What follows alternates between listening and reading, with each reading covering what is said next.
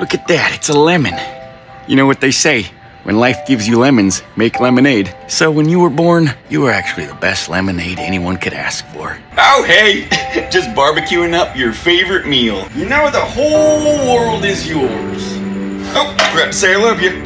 Oh, you caught me just admiring a picture of you when you were a kid. You were a great kid, and you grew up to be a great adult. I love you. What in tarnation? There's something behind your ear. Oh, it's a hug. I love you so much. You're probably bored of Hallmark, huh? Put on one of your stations. I would love to watch what you're uh, enjoying as well. Can I sit down for a second? I just wanted to make sure you're doing okay.